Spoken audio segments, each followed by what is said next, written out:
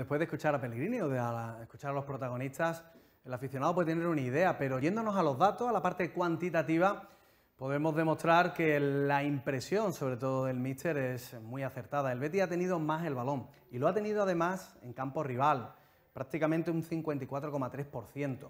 Luego hay datos interesantísimos como que el Betis ha tenido menos pérdidas que el Atlético de Madrid. Eso llama la atención, pero si se pone en relación con la posesión, eh, ya entendemos el porqué el planteamiento de Pellegrini de estar en campo rival el mayor tiempo posible.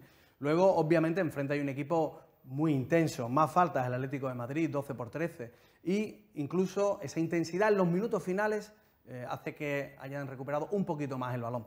Son datos que al final, si lo ponemos en la zona por la que han atacado los dos equipos, sobre todo en la parte verde y blanca, un 45,2% en banda izquierda.